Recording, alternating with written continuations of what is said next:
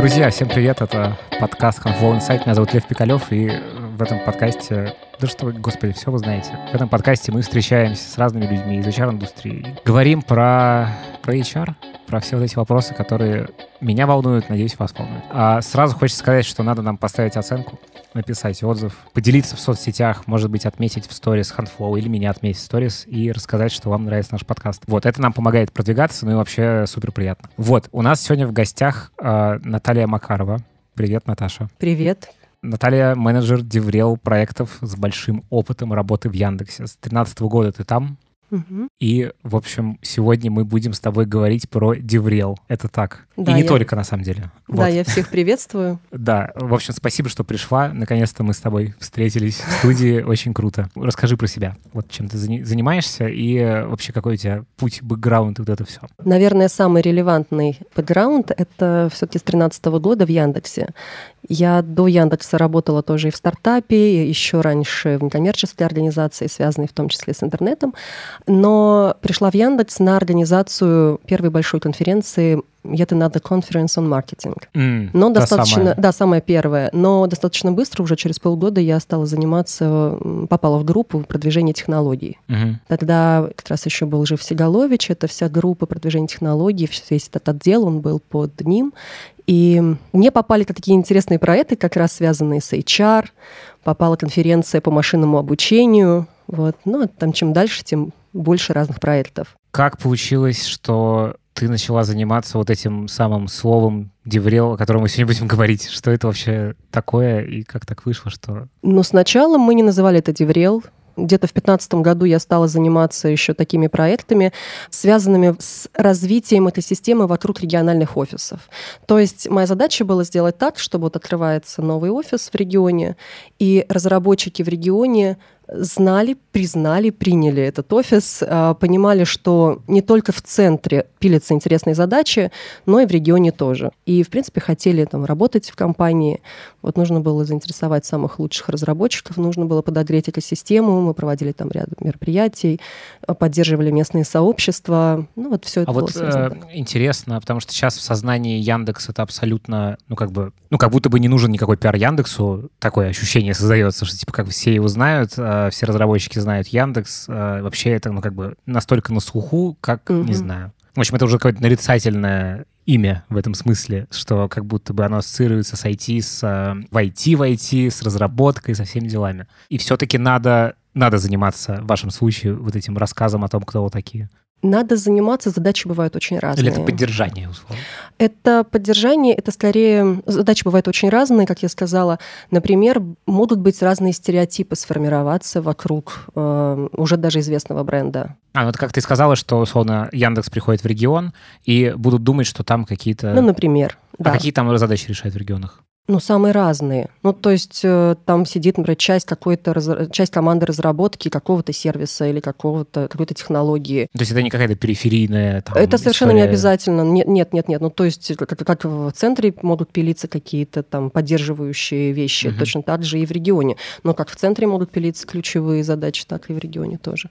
Понятно. Но Окей. это не обязательно в привязке к Яндексу, это абсолютно с такими же абсолютно проблемами связывает, в общем-то, сталкивается и Google тот же, и любые Мгм. другие крупные компании. А какие, можешь, может, как-то очертить, вот какие проблемы решаются? Ну, то есть вот э, ты рассказала, например, конкретно проблему, что вот есть там центральный офис Яндекса в Москве, а есть, значит, э, регионы, где Яндекс тоже есть, и там есть проблема, что люди думают, что это какие- какие-то не те задачи там делаются. Вот какие еще похожие кейсы может решать, ну, условно? Ну, например, пиар? иногда бывает, что люди недооценивают себя. Ну, вот им кажется иногда, что я, может быть, недостаточно дорос, что, что там М, слишком круто мгм. для меня.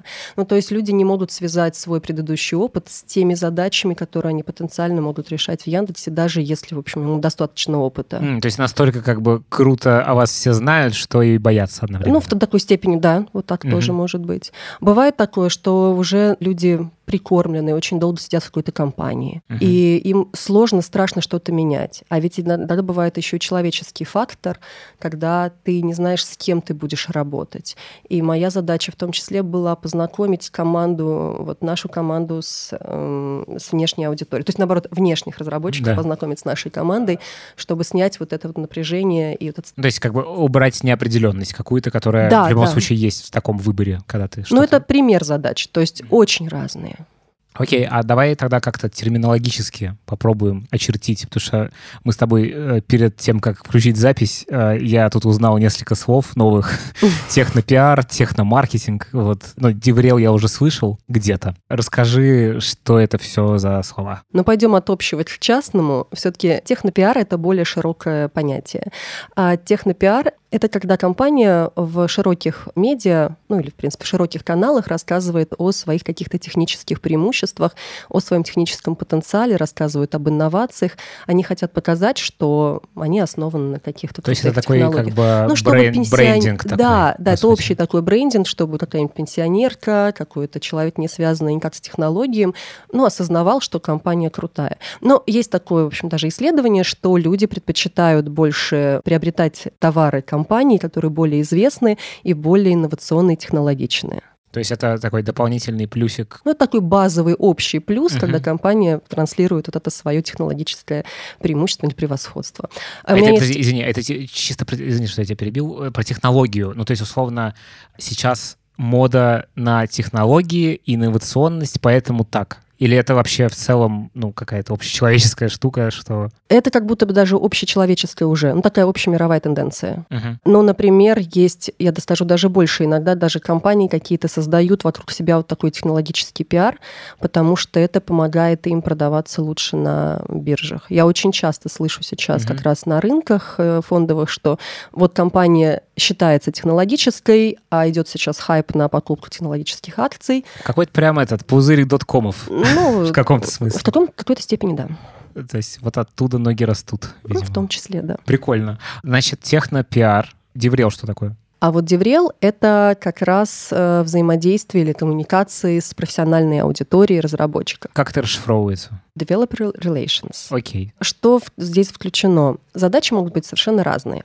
Я, например, работаю с технологической аудиторией, но приходят ко мне заказчики с совершенно разными задачами. Это могут быть HR-задачи, например, связанные с employer брендом. Uh-huh. Или это могут быть задачи продвижения технологий какой-то, чтобы построить сообщество вокруг какой-то технологии.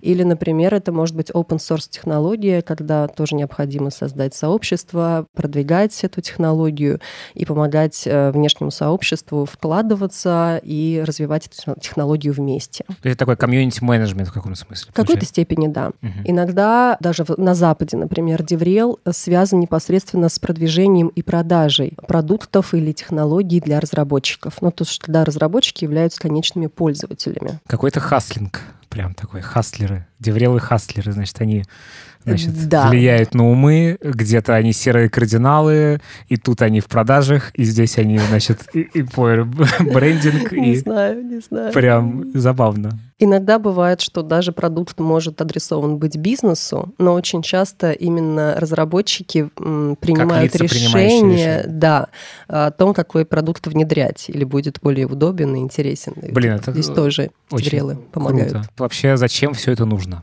Как ты на это смотришь? А, есть ряд исследований, кстати, это постоянно каждый год проводят некоторые компании, такие как Stack Overflow или какие-то еще известные компании. И эти исследования показывают, что разработчики, принимая решение о том, где они хотят работать, они в первую очередь э, основываются не на том даже, где какие зарплаты или где какие плюшки. Ну, то есть как бы эти вот вещи базовые, uh-huh. они как бы уже must-have. А для них э, гораздо более важно это, что это за компания, какой технологический стек, насколько технологии актуальны в этой компании, настолько компания технологична, угу. настолько они могут э, развиваться в этой компании как профессионалы. А я правильно понимаю, что на самом деле это все ну, в каком-то смысле про сообщество? То есть готов ли человек стать частью вот этого сообщества компании? Ну, условно, что компании — это разные какие-то, значит, сообщества, в которых модно, не модно быть, или классно, не классно. То есть это вот про Здесь не про моду, на мой взгляд. Здесь именно про непосредственную пользу для человека и его ну, приверженность какую-то. Угу. Или... То есть какая-то субкультурность такая. Ну, то есть как бы да, вот нужно, я, я там или не Нужно очень хорошо там. понимать психологию разработчика. Это люди родились э, для того, чтобы изменить мир. Изначально так. Изначально. Это люди, воспитанные на вот тех знаменитых э, фантастах или фильмах фантастических. Да? Для них важно, они создают будущее, Вау. они меняют мир. И любой хороший разработчик, он родился для того, чтобы изменить этот мир. И для него очень важно разрабатывать что-то очень полезное. Вау, я просто никогда вот в эту сторону так не думал. Ну вот я всегда в работе с ними исхожу из этой парадигмы, из этой И ты подтверждаешь, подтверждаешь ее да, себе конечно. каждый раз, да? Да. То есть это вот прям Слушай, интересно, а что еще, ну, как бы свойственно разработчикам? Вот какая, то есть вот ты сказал главную мотивацию, а вот что она за собой несет еще дополнительно? То есть вот э, какие ниточки ты можешь показать? Ну, как я сказала, это желание работать над каким-то полезным продуктом, mm-hmm. который полезен для большой массы людей. Или, может быть, какой-то интересный э, ну, там, в бизнесе проект. Это может быть что-то очень инновационное, такое совсем футуристическое для них важно. Почему, например, mm-hmm. так все любят того же Илона Маска, да, потому что он что-то делает прорывное. Mm-hmm. Это люди, которые... Вот им очень важна польза и конкретика вот на уровне того, что они делают. То есть они хотят развиваться постоянно, они постоянно следят за какими-то современными технологиями, за их развитием, за чем-то новым. Даже если они, например, могут не работать с этой технологией сейчас, но если что-то появляется новое, интересное, они обязательно пойдут ее попробуют. Угу. Такие, в общем, руками. ищущие ну, люди да. в целом постоянно. Слушай, здорово. Значит, и задача DevRel а, так можно говорить DevRel? Как, DevRel а. Как... DevRel а, окей. Сделать так, чтобы чтобы что? Чтобы показать э, компанию, которая технологически не является с этой стороны, или, ну, как бы показать, выделить какие-то главные особенности и вот донести до разработчиков, что это вот здесь так, как вам надо. Ну, нужно понять цели компании, нужно понять, конечно же, ее уникальность, Uh-huh. с точки зрения и технологий, или, например, даже и бывает такое, что компания может не производить чего-то совсем там супер прорывного, да, но не все же что-то создают такое крутое. Но, например, Одна еще из ценностей тоже технологической аудитории — это открытость, прозрачность и вот честность. И поэтому можно, например, показывать то, что вот хорошего есть в компании. Это могут быть хорошо выстроенные процессы. Это может быть какой-то крутой, харизматичный лидер, у которого можно учиться, или с которым просто комфортно работать, и который что-то интересное рассказывает, как евангелист, например. Это может быть ну, что-то такое интересное для бизнеса, новое, ну, просто можно искать какую-то уникальную вещь с точки зрения, которая вот ценностна для разработчиков. Окей, okay, а какой-то есть алгоритм поиска этой ценности? Ну, то есть, условно, вот приходит Деврел в новую компанию, как строится процесс? Ну, типа вот что, что сначала?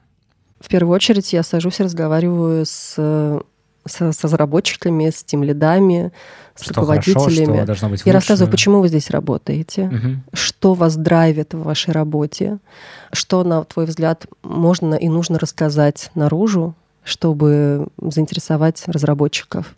Угу. Чем бы ты хотел поделиться, чем ты гордишься в своей работе?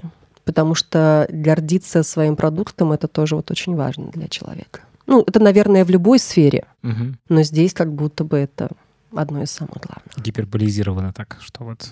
Ну, на мой взгляд, да. Ну, опять же, да, если у тебя психология постоянно меняющего мир человека, то, наверное, логично, что ты, ну, как-то хочешь гордиться тем, что ты делаешь, да. Окей, а как посчитать все это? Ну, то есть вот э, какие метрики того, что, ну, вот условно, как сделать какой-то первоначальный там бенчмарк, значит, что вот сейчас вот такая картина, и там к какой картине мы идем? Какие метрики ты видишь вот в работе Девреева? Исходим из задачи. Ну, давай какой-нибудь э, придумаем кейс. Ну, можем, например, в любом случае поделить компании на три группы. Да? Это гиганты Давай. технологические, какие-то средние компании, или компании сейчас очень многие трансформируют свой бизнес, то есть они в прошлом как будто бы не были технологическими, ага. но сейчас им необходимо развивать разработку, выходить вот в онлайн, создавать онлайн-сервис. Да, они называются трансформация, это IT-трансформация. Это, кажется, самая интересная группа, потому что это как бы они как будто бы из точки ноль стартуют. И да, и нет, да. Ну, да, можно. И третья группа это, конечно, стартап или совсем небольшие организации, где как будто есть разработка, но хочется либо нанимать, либо угу. какую-то иметь репутацию технологическую. Окей, предположим, вы работаете в компании, которая долгое время занималась сугубо, не знаю, офлайн ритейлом. И вот вы, значит, э, вдруг начали диджитализироваться. Пришел ковид, стало понятно, что ну, какой-то гипотетический ковид пришел, а, значит, стало понятно, что дальше так жить нельзя, вы, значит, э, становитесь цифровыми ребятами. Вот э, куда бы ты начала копать и какие бы ты метрики поставила перед Деврелом здесь? Но как будто бы эти компании, многие большие особенно, поняли, что им нужно трансформироваться уже до ковида. А, например, у них эм, появилось огромное количество данных uh-huh. благодаря различным картам.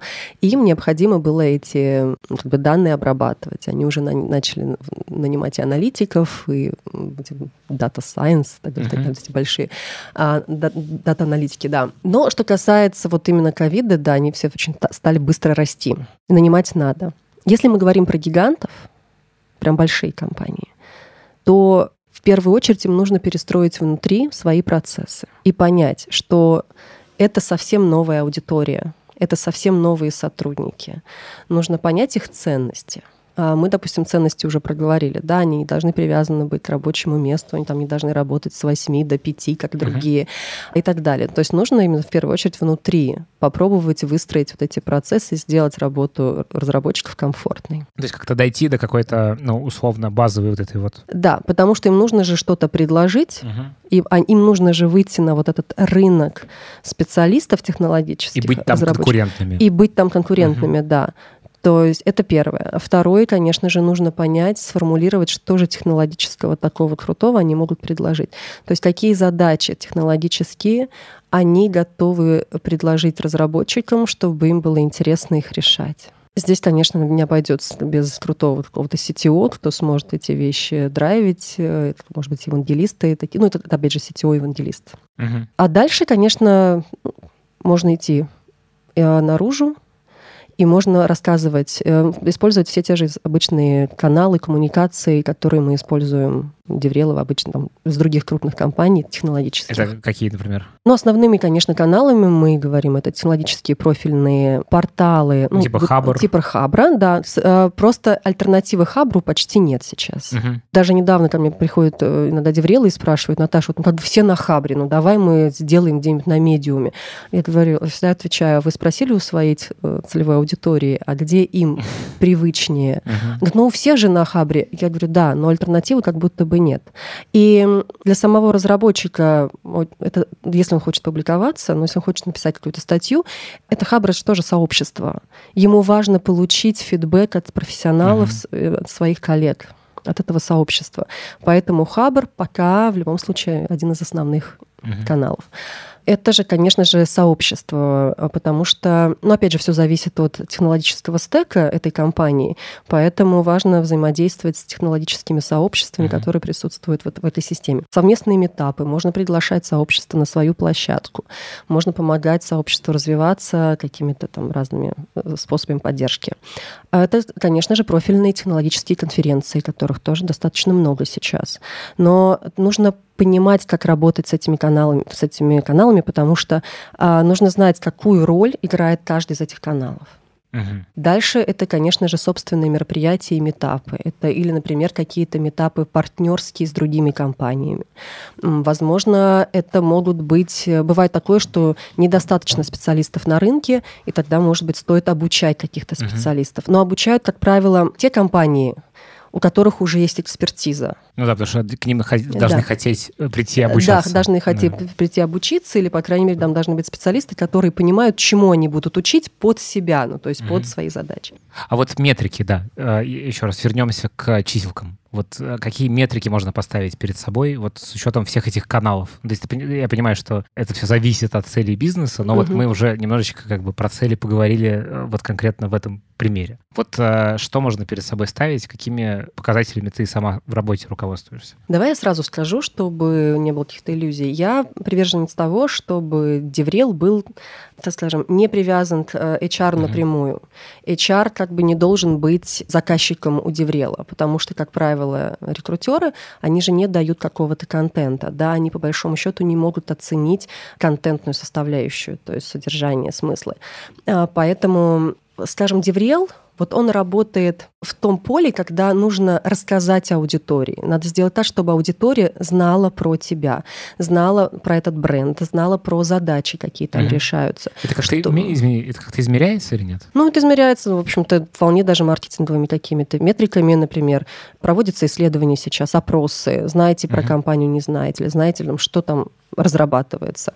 А сейчас, кстати, стали проводить такие опросы. Это качественные исследования, получается? И да, это, это качественные и количественные, то есть mm-hmm. разные, да, исследования. Но ну, это top of mind, например, да, назовите там пять лучших, разраб... 5 э, лучших компаний там, для работы. Сейчас mm-hmm. такие есть исследования там, да, и даже уже есть рейтинги вот этих, этих компаний. Mm-hmm. Это могут быть, опять же, да, исследования вот я, например, могу проводить даже на конференции на какое-то собственное исследование. Знаете просто ли пойти вы... как коридорное исследование? Ну нет, я могу просто даже стоять со стендом и, например, провести какие-то небольшие опросы там, разработчиков, знают ли они про, ну, про какой-то аспект того, что я uh-huh. делаю, например, или нет. Uh-huh. Но, в принципе, сейчас уже есть и Хабр проводит такие исследования, и HeadHunter, конечно же, поэтому есть. DevRel не должен быть привязан к метрикам найма все-таки наймом должны заниматься рекрутеры. Э, DevRel заканчивается там, где вот человек знает о компании, знает о разработке. Максимум, на что может влиять DevRel, это когда рекрутер, например, звонит специалисту, и специалист, например, отвечает, а, да, я что-то про вас слышал, ну, uh-huh. давайте поговорим. Ну, то есть э, хорошо, чтобы в компании была такая метрика, когда люди соглашаются или отказываются от дальнейшего контакта ну, при, при первом контакте.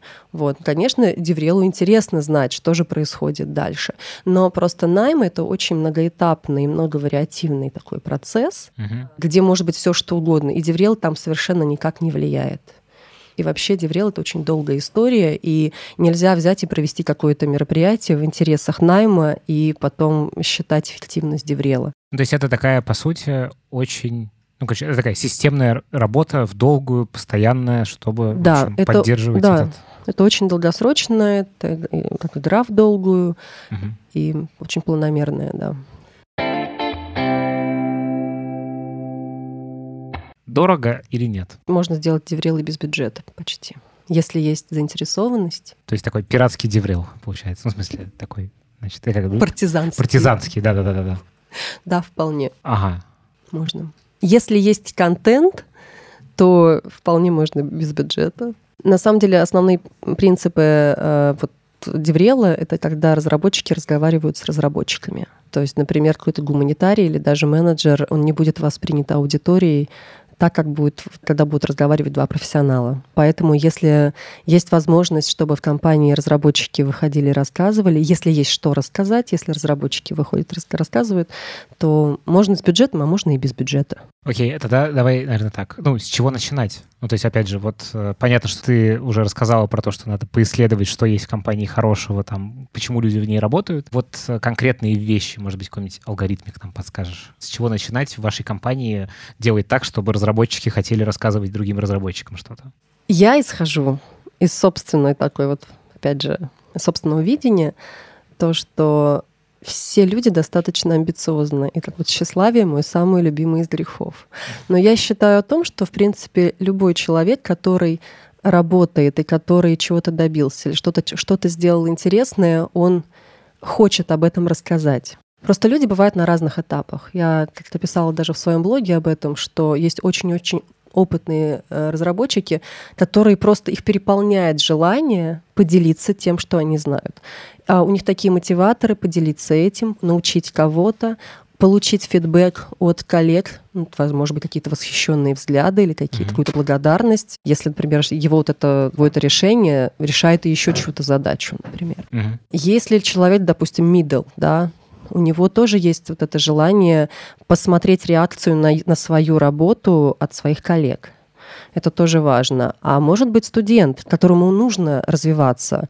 И, это например, его личный бренд. Ну, даже если и не бренд, ну, конечно, да. А, но в любом случае у него есть возможность, например, систематизировать знания команды и, например, написать об этом статью от, как бы за всю команду. Это поможет и ему, и, в общем-то, уже даст, положит начало какому-то собственному продвижению. Звучит как вин-вин абсолютный. Типа всем выгодно. Ну, я говорю о том, что вот это моя, моя такая парадигма, из которой я исхожу. Я считаю, что каждый человек готов. Просто есть что-то, что ему мешает. А какие вот вещи могут мешать? Абсолютно разные. Убежденность в том, что я не умею выступать. Или я никогда не писал. То есть я никогда не писал, ты уже чувствуешь, да, что это, я, я, не, я не, не хочу писать, а я никогда не писал, у меня просто нет опыта, и здесь ему нужно помочь написать. Начать. Да, начать, или, например, предложить ему помощь редактора, или предложить собрать команду, обсудить план или помочь с кейсами, например, подобрать. Ну, то есть здесь То есть такая уже ну, история психологическая, чтобы развернуть, что лежит и за этими словами. организационное, да. Мгм. Не готов выступать, но мы поможем точно так же. Мы научим, потренируемся, постоим перед камерой. Не будет несколько прогонов, э, команда также поможет. Можем внутри сделать, допустим, небольшой метап, потренируешься внутри. Мгм. Вот. Конечно, не нужно выпускать человека на большую аудиторию, если он никогда в жизни не выступал. Все равно нужно начинать. Иногда бывает, что я предлагаю человеку быть модератором или э, какого-то метапа. Когда не нужно не выступать, но ты просто либо задаешь вопросы, либо передаешь микрофон, и ты уже стоишь на сцене. Ну, то есть вот просто надо смотреть каждый раз, То есть это такая как бы человеку. должна быть создана такая фабрика, значит, Да. где есть обучение, поддержка тех, кто, значит, это делает, какая-то геймификация, видимо, в этом, ну, чтобы чело- человека как-то подкреплять дополнительно тем, что... Ну, просто человеку нужна поддержка. Да. А, ну, Поддержка принципе, и обучение, да, и обучение, да, нам всем нужна. Но, конечно, привлечь какие-то еще ресурсы. Ну, в крупных компаниях как будто бы эти ресурсы есть, или всегда их можно найти, привлечь сторонних специалистов.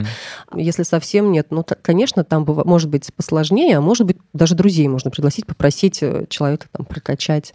Ну, то есть всегда, мне кажется, можно найти какие-то возможности. А вот ты некоторое время назад сказала про то, что, ну, вот ты перечислила разные способы, как компания может во внешний мир что-то, значит, рассказать. И, и я так понял, что веса у этих действий, они довольно разные. Вот можешь как-то их отприоритизировать?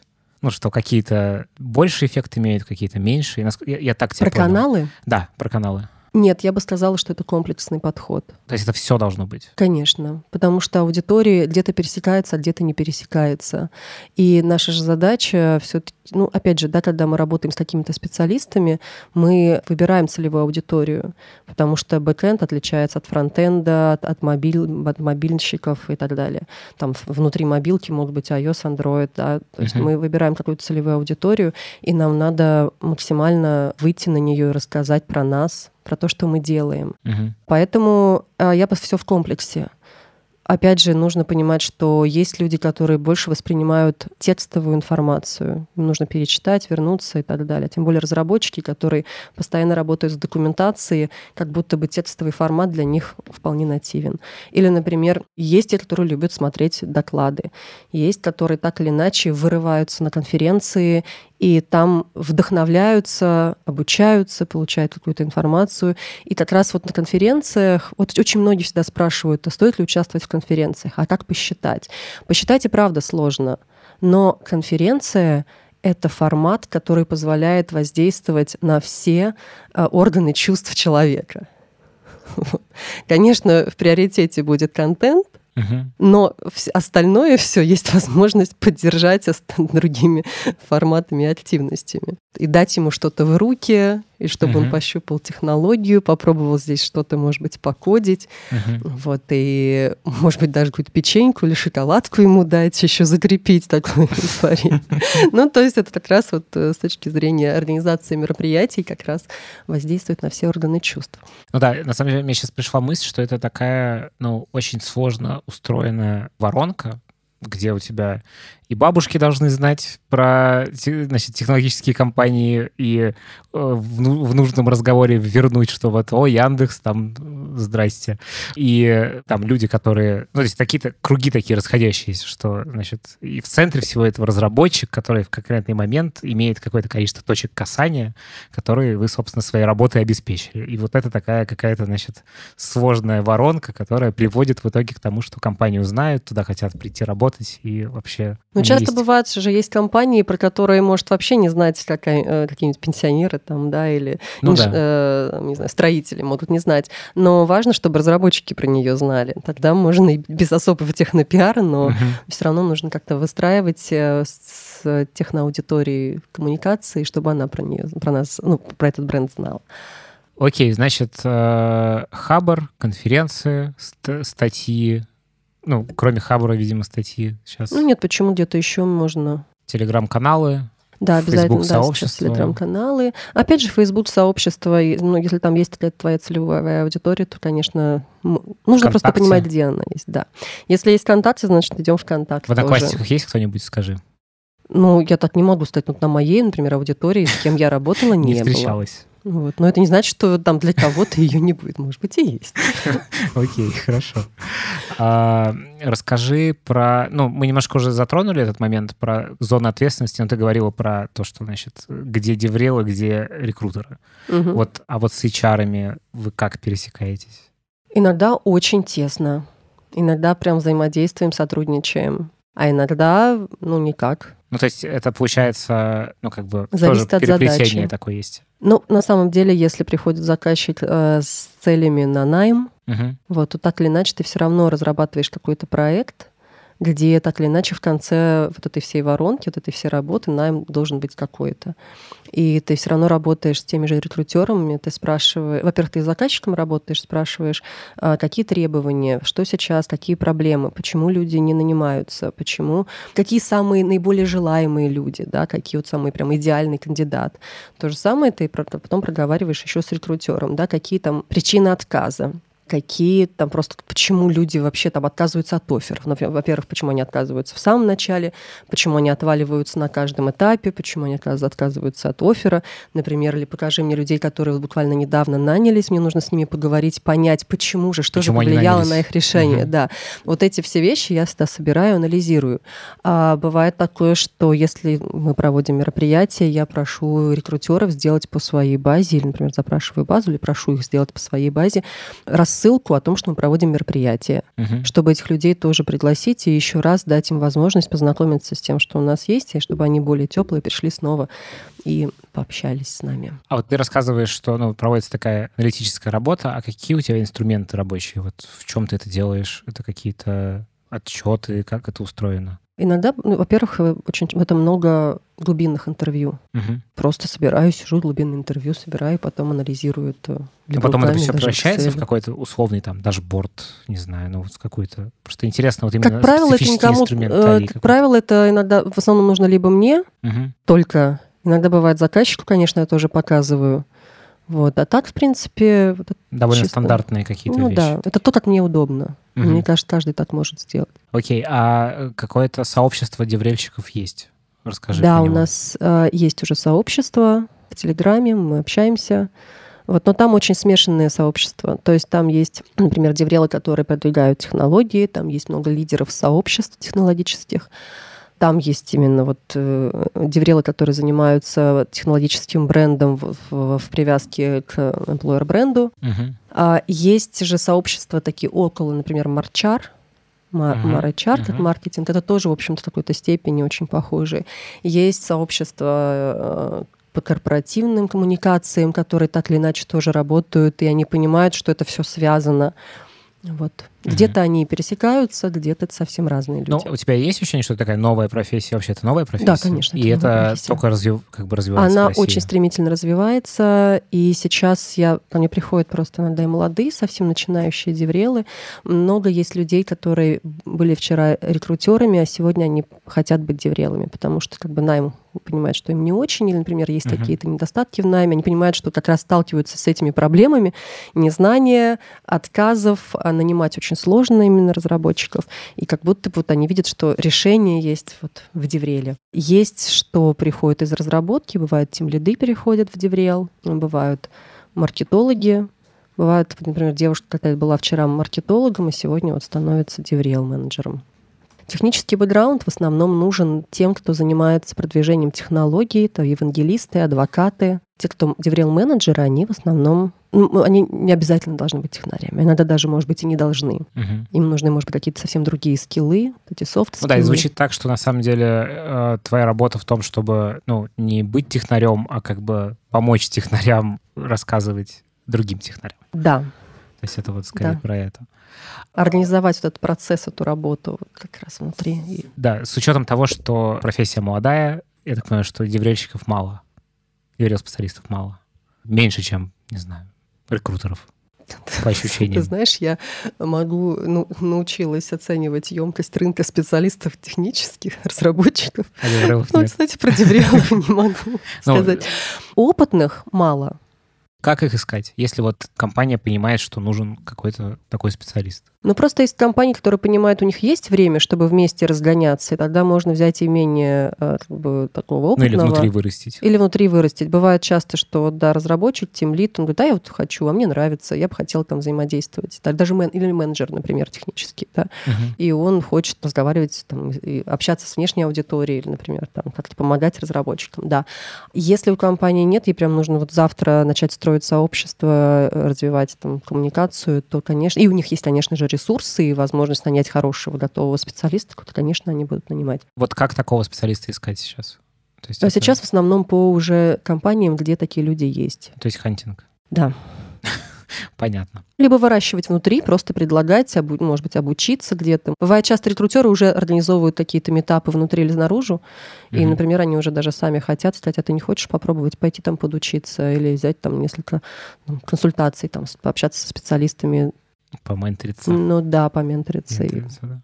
То есть какой профиль вообще у этих ребят? Ну, то есть вот какие они должны быть, чтобы можно было сказать, что это вот, ну, не знаю, технический, не технический бэкграунд. Ты сказал, что это может, типа, и нужно быть, и не нужно быть. А вот какой ты можешь профиль нарисовать такого деврел-специалиста классного? Ну, как я сказала, если речь идет про то, что ему нужно выступать и разговаривать с технологической аудиторией, то ему нужно быть разработчиком, ему нужно иметь технический бэкграунд. Мгм. Как правило, это вот вокруг э, open source, вокруг технологии или продажи какого-то технологического продукта разработчикам. Если же речь идет, опять же, об employer бренде, это скорее такой организатор процессов, проектов, менеджер, то ему здесь скорее важно уметь выстраивать процессы, важно понимать разработчиков, принципы коммуникации внутри и принимать разработчиков такими, какие они есть. Ну, Мгм. то есть э, понимать вот их культуру, их ценности и подстраиваться в какой-то степени под них, да. Окей, смотри, вначале мы немножечко говорили о том, и вообще, когда мы готовились к этому разговору, что деврел-специалисты в разных компаниях очень разные роли выполняют. Мгм. Можешь какие-то ну, основные подсветить? Вот какие они бывают в разных компаниях, эти ребята? Например, есть компании, где ну, компания крупная, и там есть очень разные отделы. Есть Мгм. отделы маркетинга, пиара, разработки, там, презентации, обучения и так далее. И тогда он просто выступает во многом как менеджер, которому важно как связующее звено. Ему нужно пойти везде, нужно организовать, убедить в том, что твоя работа важна, Мгм. и как бы организовать весь процесс. А есть, например, э, где нет бюджета, вот он один сидит, у него есть разработчики, и он. Ну, может быть, есть, конечно, пиар-специалист какой-то, да. Тогда ему нужно быть либо многостаночником, ему, конечно, нужно уметь и вычитать текст, ему, возможно, нужно там заниматься спонсорскими пакетами, то есть связываться с, с организаторами конференций, запрашивать э, пакеты, обсуждать условия. Конечно, потом он все равно, наверное, отдаст это юристу договор, но вот эти вот предварительные все этапы, он все это должен делать сам. Вот также ему хорошо бы, конечно, уметь организовать процесс подготовки человека к выступлениям, Мгм. вот уметь его мотивировать. Но вот в таких условиях он многостаночник во многом. Скажи по поводу того, ну вот на рынке сейчас рекрутеры что ждут от Деврела? То есть вот что ждут и что... такая ожидание и реальность, они совпадают или нет? Рекрутеры, им нужен найм. Они прям ждут найм во что бы то ни стало. И если они не, там, сказать, не получают этот найм, ну, если, например, они являются инициаторами найма DevRel а, они ему ставят задачу. Я слышала такие пару кейсов. Слушай, ну ты уже здесь три недели работаешь там или месяц, а что-то не нанимается. Ага. Вот и бедный DevRel, который, если он неопытный, он правда думает, что от него этого ждут, а у него не получается, и он не может убедить, что ну нет. Как бы так, и- так и не будет. Мгм. И не ждите от меня найма вообще, то есть максимум вот нас про нас вообще ничего еще вчера не знали, и в лучшем случае узнают там только через там, полгода, допустим, или через год. Вот это как бы э, ожидание реальность. А в то же время, например, часто DevRel бывает, э, кому-то повезет, и DevRel бывает под э, техническим руководителем, который понимает это все, и он, в общем-то, не приверженец того, чтобы привязывать DevRel к метрикам найма. Угу. Но в любом случае, чего должны ждать рекрутеры от DevRel а? Они должны ожидать узнаваемости компании, они должны видеть, что разработчики более активны и более лояльны к компании и хотят, например, проходить собеседование. Ну, ну, то есть не отка- меньше, меньше отказываются, активнее отвечают. Mm-hmm. Мы, конечно, говорим о том, что почти нет у нас самоходов на опубликованные вакансии. Это все равно как бы рынок найма, хантинга, поэтому здесь как бы люди должны меньше отказываться от э, дальнейшего прохождения собеседования или контакта с рекрутером. Опять же, очень часто сейчас речь идет о так называемом employee journey map да, mm. и вот, как правило... Как journey, да, да, да. И рекрутеры его часто рассматривают вот от этапа первого контакта, вот он, например, позвонил специалисту, до выхода на работу. Но как раз для разработчиков это так не работает. Вот это вот э, employee Джонни Мэп начинается гораздо раньше. Он должен где-то пересечься. То есть те должен... самые точки контакта, на самом да. деле, которых очень много может быть. Да, то есть это может быть, он где-то почитал на Хабре, столкнулся, прослушал на конференции, услышал это, ну, где-то что угодно, да. Потом ему звонит рекрутер, а бывает такое, что, например, даже он не слышал ничего, но ему звонит рекрутер, и дальше тоже начинается, что он идет на тот же Хабр или даже в тот же поисковик. А, идет смотреть, что там как Идет искать какую-то, да, хоть да, какую-то информацию ага, об этой вакансии, ага. об этой компании. И он должен наткнуться на статью на Хабре, угу. на возможный видеодоклад или какое-то выступление или что-то вот должен вот это, кстати, подумать. да, это, это очень интересно. То есть это вот же, да, получается, что когда, ну, условно, там мы ищем разработчиков, мы идем, значит, смотреть их соцсети, угу. а, там а, профили на гитхабе и, в общем, ну, твиттеры, естественно. Вот. И такая же обратная история получается. Ну, то есть ты начинаешь Конечно. смотреть на компанию, ну, не как на продукт, который они делают, а на, в общем... Да, и хорошо, например, он пойдет смотреть, но, э, он там увидит что это за компания, он почитает, да, общие слова на сайте, но ему же важно посмотреть, что делает разработка и что ему придется делать в этой компании. И вот здесь как раз хорошо бы вы заинтересовать вот этими всеми деврел штуками. Да. Блин, вот это, кстати, очень прям... Я сейчас словил инсайт. Класс. Рада. Спасибо. Какие у вас боли основные, вот как ты их видишь? Ну вот там про то, что ждут моментального найма, э, ну в смысле улучшений, значит, найма, что люди активнее нанимаются, а какие еще есть боли у девреев? Ну ты уже поднимал вопрос здесь про то, как убедить. Да, это боль. Это боль, потому что часто бывает, что убедить очень сложно. Бывает такое, что сейчас пытаются нанять деврела, потому что это модно. Даже и, такое я слышала, вау. что типа вот сейчас модно нанимать, у них есть, нам как бы тоже надо. А зачем? И начинается вот это вот хождение по а, разным направлениям, там нужно, чтобы... И никто не понимает, зачем. И, то есть нужен человек, который убедит пиар, HR, разработку. Зачем это нужно? Угу. Нужно, чтобы Деврел определил все-таки задачу основную, как, какая нужна компании, то есть цель, и задача, которая вот стоит перед ним. Вот это бывает прям боль. Бывает, что бизнес хочет конкретных метрик, а Деврел не может ему дать эти конкретные метрики. Очень часто почему-то маркетинговые вот эти вот метрики, они не являются убедительными, потому что они напрямую никак не привязаны к деньгам. Очень сложно посчитать.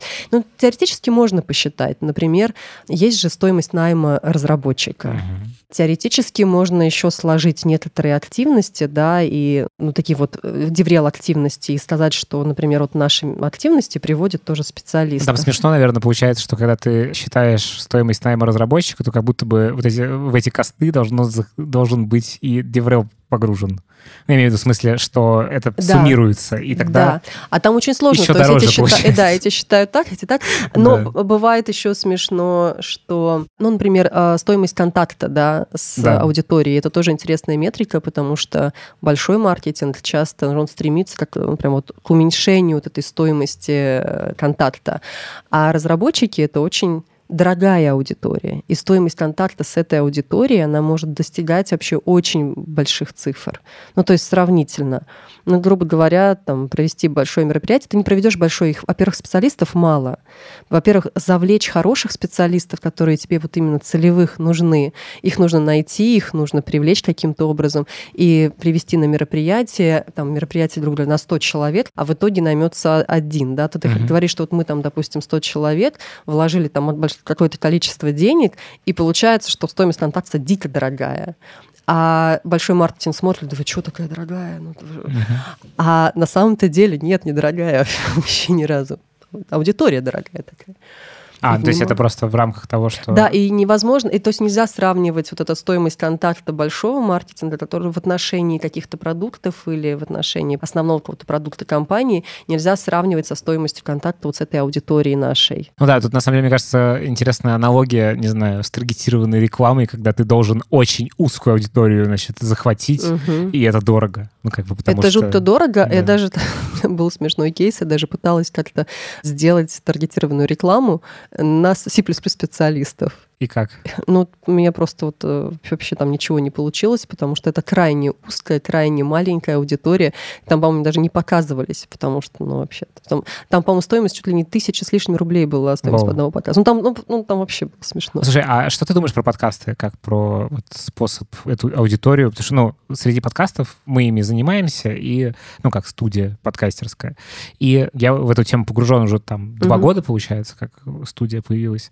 И ощущение ощущение такое, что подкасты, на самом деле, это такой инструмент, вокруг которого, ну, вообще, в принципе, они очень сегрегированы. Ну, то есть это очень на узкую аудиторию может быть история именно про сообщество. То есть и вроде там, ну, условно, слушают твой выпуск 500 человек, но это как бы настолько вот эти вот 500 человек, которые нужны, что да. э, грех туда, значит, не зайти с какой-нибудь, угу. не знаю, рекламной интеграцией или со своим спикером. Вот да. ты используешь это в работе или нет, этот инструмент? Подкасты нет, но, опять же, мне просто не... При... Как сказать, мне это было пока не нужно. Угу. То есть у меня была аудитория, хотя нет, у меня был специалист, которого мы отправляли на подкасты, потому что там была mm аудитория, да, да, да. А, ну, Но есть... это, опять же, это же какая-то систематическая работа. Ну, у меня есть э, пример очень классный. С, такой есть подкаст, его никто не знает, э, называется «Карта апокалипсис».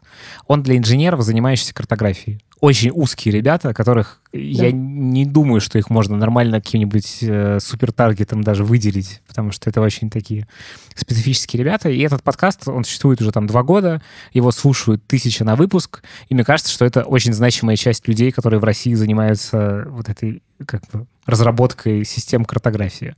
Ну, это клевый канал в смысле, что туда, ну, если вы делаете продукт для этих ребят, или если вы хотите их нанимать, то, ну, как бы... Конечно, но, опять же, все зависит от емкости аудитории, да, если ты понимаешь, что у тебя специалистов таких в России, э, грубо говоря, всего лишь 10 тысяч, да, то если подкаст собирает хотя бы 500, ну, как будто бы это, да, ну, там, там супер, 500 или 1000, то это как бы супер крутой да. инструмент. Это же нужно понимать тоже в соотношении угу. вот, да. Доля. Точно так же, да, опять же, да, я, я в первую очередь оцениваю емкость рынка специалистов. То есть я вот недавно оценивала там, C++ сколько их в России, например, или питанистов. Ну, там оценивала, ну, это опять же было в 2016 году еще, да, там 75, допустим, в среднем где-то так, 70-75. И поэтому, когда у меня база, мне нужно было понять, вот моя база, она... тысяч? Да. Угу. И мне нужно было понять, вот у меня сейчас в базе, грубо говоря, там 10-15 тысяч человек. Это много или мало? Вот, опять же, мне же нужны, опять же, не все эти 75, то есть мне нужны не все подряд, мне нужны хорошие специалисты. Там мне не нужны те, кто, например, пишут на нескольких языках, uh-huh. в том числе про C++, да. И тогда я понимаю, что это нормально, это хорошо. Угу. Или, например, точно так же я оцениваю канал, или я хожу, иду на Хабр и смотрю, например, сколько самая популярная статья в узкой теме. Вот мне прям вот важна узкая тема, которая будет интересна только этим специалистам и больше никаким. Я смотрю количество под ней и понимаю, сколько специалистов вообще вот этой, угу. вот, вот этой аудитории. Кстати, да, это тоже интересно. А какие еще есть вот эти способы оценки емкости? Как правило, если компания крупная, большая, то я в первую очередь иду к рекрутерам, спрашиваю, сколько они за последние 10 лет все-таки у них в их базе, сколько они перелопатили. То есть у них как бы хорошо. Есть, но рекрутеры каким-то образом тоже оценивают же емкость. Угу. Вот есть какие-то инструменты, по-моему, даже Amazing Hiring как-то некоторые используют. А есть какие-то открытые источники, например, которые делают аналитику для э, иностранных компаний, например, которые хотят привлечь э, компании для взаимодействия с аутсорс Мгм. в России. А, Есть, вот как я смотрю, да, в Хабр, например, столько людей читают популярные посты именно про C++, ну, про какую-то технологию, опять не Мгм. обязательно. Я смотрю собственную базу, как у меня растет. Я смотрю, ищу самые популярные каналы разные. И тоже их А, как бы конечно, количество я- подписчиков. Да, и- конечно, в чем сложность? Это в том, что сложно оценить пересечение аудитории. Да, я не Мгм. могу же все это суммировать, да, то есть мне нужно просто понимать. Просто часто люди там и там везде бывают, а бывает, что ему он тот хабр читает и больше ничего. Мгм. Ему больше ничего не интересно. Ну и так вот в среднем ты прикидываешь и понимаешь, что вот столько. Потом можно еще, например, так прикинуть, сколько компаний в России в целом пишут вот на этом языке, например. Вот. И как-то так вот попробовать прикинуть. Мгм. Есть То есть, ну, такая как бы доверительный интервал такой. Ну, общем, такой, да. Он, ну, это очень приблизительно. Мгм. Это скорее вот так, чтобы в очередной раз, еще раз вот как бы наложить данные вот на вот все, что у тебя еще Мгм. есть. Супер. Скажи, пожалуйста, с пандемией как поменялась ваша работа деврельская? Ну, то есть вот там, насколько сейчас имеет смысл приходить там спонсорами на какие-нибудь онлайн значит, мероприятия. Ну, и вообще сравнить с тем миром оффлайна, который у нас был до того, как все это случилось с нами. Вот что-то поменялось или нет? Конечно, поменялось все. Очень много. Конечно, сами конференции сильно пострадали. Кто-то сумел адаптироваться и перевести свои конференции в онлайн-режим. Кто-то даже бывает отказывается от перевода и даже вообще как бы не очень понимает, как это делать. Потому что нужна же и платформа, нужны и ресурсы для того, чтобы все это организовать, все эти стримы.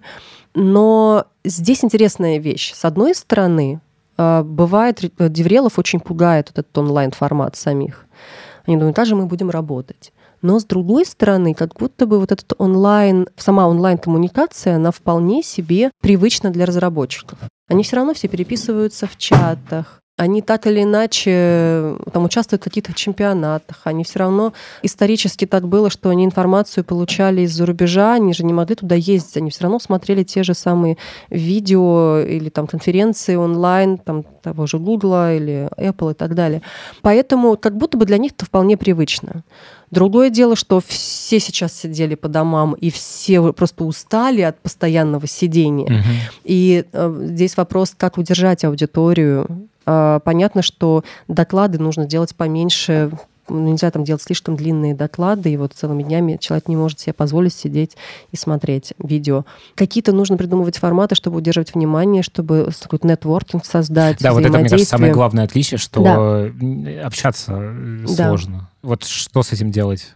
Какие есть способы? Ну, нужно просто придумать новые форматы. А ты понимаешь, какие? Ну, то есть э, есть уже Ну, какие-то сейчас best интересные есть форматы, они э, какие-то комнаты для общения, Типа чаты? Да, типа чаты, комнаты по интересам, обязательное общение с докладчиками, например, после его доклада. Сейчас же есть формат, когда человек напрямую читает доклад, да, ему нужно задавать вопросы. Мгм. А бывает, что записывают доклад, Заранее. Заранее. да, люди смотрят, а сам докладчик может сидеть, комментировать что-то, отвечать в этот момент на вопросы. Тоже неплохой формат. А, конечно же, нужно, чтобы все-таки эти доклады, эти выступления были очень-очень интересными. Все-таки как вот мы начали с чего обсуждения, что надо как-то Нужен удерживать интересный людей. контент. Очень интересный контент и Мгм. очень интересная подача. А вот если там, вы компания, вот эти интеграции в такие мероприятия, они там эффективные по сравнению с оффлайн интеграциями или нет? Как ты это оцениваешь? Пока еще сложно оценить. Непонятно. Пока еще непонятно. А, опять же, да, пытаются делать э, онлайн-стенды, когда Мгм. комп- человек, человек может прийти что-то сделать, какие-то конкурсы, викторины, соревнования, все это пытаются, но я пока не готова тебе сказать, насколько это все эффективно. И еще год не закончился. Ну да, кстати. Только 80% года прошло. Я помню, что VC делал карьерную выставку э, в виде игры. Вот это- То, что Буду ребята делали, разрабатывали, они просто сейчас формат зашел. Можно было ходить человечком, значит, заходить Да, в да, да, компании. да. Мгм. Очень Смешная штука. А как ты на такие вещи смотришь? Это прикольный эксперимент? Я считаю, что прикольно. Но опять же, я не целевая аудитория. Опять, да, это нужно спросить у разработчика, прикольно это или Вот ты нет. спрашивал по- про эти Э, кейсы? У разработчика не спрашивала, у людей. Деврела мне про это рассказывали. Ага. Понятно. Да, не, не целевая аудитория. Да. Смотри, я хотел бы такой, во-первых, бонус-вопрос для наших слушателей от тебя. Ответ, точнее, я хотел от тебя получить на бонус-вопрос. Можешь какой-нибудь по шагам рассказать ну, условный алгоритм такой, не привязываясь совсем уж прям конкретным кейсом, как внутри компании построить э, вот этот процесс написания статей на Хабр. Мы уже поняли, что Хабр сейчас главный вообще инструмент э, с точки зрения там, вхождения в сообщество разработчиков и вообще ну, безальтернативный вот, в каком-то смысле.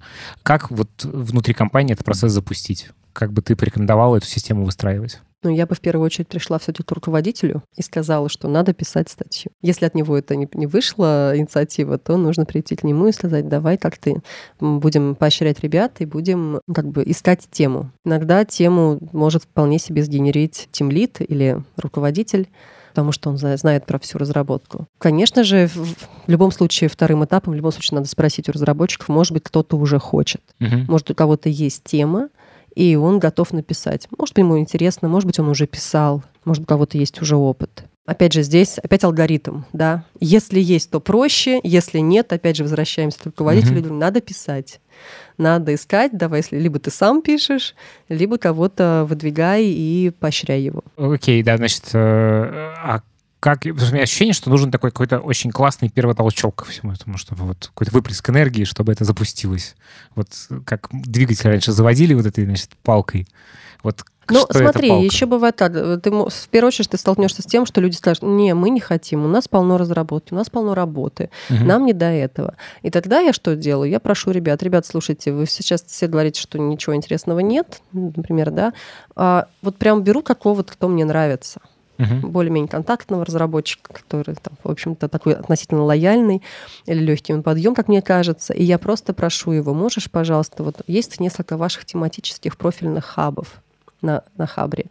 Посмотри, пожалуйста, выбери те темы, которые, на твой взгляд, самые крутые.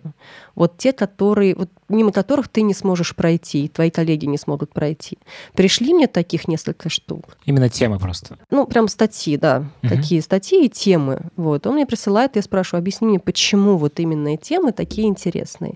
И он там может рассказать, да, это крутая компания, которая там, к ней внимание всегда прикованы, или, например, какая-то интересная, популярная сейчас тема, тема технологическая, э, вот актуальная, ее, вот она интересна всем, или в третьем очень интересная задача, интересный кейс. И вот очень часто, я, ну это даже не одного спрашиваю, да, у нескольких, вот именно вот эти люди, у них как-то поворачивается мозг, они начинают думать о том, что, а, в принципе, я же тоже могу написать. И я спрашиваю, мы что-то можем вот из этого как бы, ну, подумать и что-то тоже интересное написать, вот, например, похожее. Или... И очень часто люди тоже откликаются, что да, можно. Mm-hmm. Что-то в эту сторону можно подумать. Это не будет, что я завтра сяду и напишу. Нет, конечно. Но в эту сторону люди начинают направлять свою мысли и намерения. То есть нужно как-то вот посеять какие-то... Постепенно, да, конечно, угу. сразу тоже сложно. А бывает такое, что если ты сам можешь писать, или, например, есть молодой совсем парень, который, вот я начала говорить о том, что тут есть, бывают там джуниоры, которым может это быть интересно, они просто не знают о чем. Ты можешь попросить его снять знания с кого-то из угу. команды или там с нескольких человек команды. Он и научится, он и да. систематизирует знания, и зашерит да. их. И вообще... Да, он же все равно не будет сам писать. Он будет, опять же, все это набросает, он все это как-то скомпонует, или там пригласить еще попросить редактора, который поможет это все скомпоновать. Он все равно это отправит тем же ребятам. Те ребята закидают его обратной там связью. помидорами, обратной да. связью. Вот, это будет несколько итераций в любом случае. И потом, да, еще можно нарисовать какие-то картинки, схемы, конечно же, код приложить. Угу. Это все равно должны помочь ему другие ребята, у которых есть опыт. И таким коллективным разумом может создаться статья тоже. А как э, поощрять? Какие есть способы поощрения за статью? Самые разные. Кто-то мне рассказывает о том, что бывает крутая футболка какая-то корпоративная, спецвыпуском, прям ну ура. Угу. Вот, а кто-то поощряет какими-то денежными премиями. Это нормально а кто... работает? Ну, в смысле, вот с премиями денежными. Ты а, сталкивалась сама? Да, сталкивалась, ну, работает. Ну, в смысле, что э, это не превращается в какой-то KPI, который ну, надо сломать? конечно, хочется как будто бы, чтобы люди это делали за идею. Да. Но вот иногда там нужно и поощрить. Но так, это можно так не то, что прям позиционировать. Ты напиши, тогда получишь премию. Угу. А это как бы вот в а, том то есть числе... бонус в твоем грейде каком-нибудь, ну, да, когда то ты есть, будешь э, да, оцениваться, да, да, например. потому что все-таки, может быть, такие, знаешь, люди, которые потом, допустим, он писал статью, а потом скажет, а ему руководитель говорит, а ты вообще-то не справился со своими задачами, то у тебя задача... А я статью писал. Угу. А его же задача писать, в первую очередь, писать код, а не статью. Угу. И вот здесь очень сложный момент идет, как оценивать. Поэтому это скорее такой бонус, о котором даже можно... Это знает руководитель, но, может быть, не сам человек, угу. который будет писать. А бывает такое, что, например, отправляют на конференции, угу. на иностранные конференции, тоже как поощрение там, в качестве участника. Ну, то есть звучит как, что это должно быть довольно тонко, не в лоб сделано, потому ну, конечно, что да. это уже сразу как бы ощущение, что это мотивацию идейную убьет, а вот как бы... Да. В любом случае это должна быть идейной, в том смысле, что ты в первую очередь сам себя прокачаешь, и это будет твой личный бренд, и ты в первую очередь, что ты получишь, ты получишь какое-то признание от коллег. Угу. И внутри команды, и снаружи.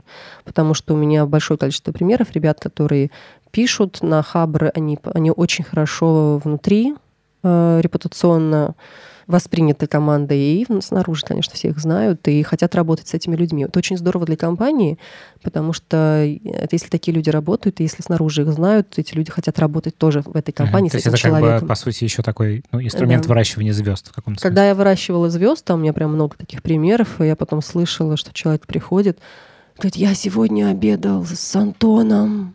Представляешь, за одним столом сидел с ним. Антон, господи, ну да, для меня он уже... Ну, да. да нет, для меня он тоже звезда, потому что я знаю, какой он вклад огромный делает. Вот, но мне интересно это все слышать. Прикольно.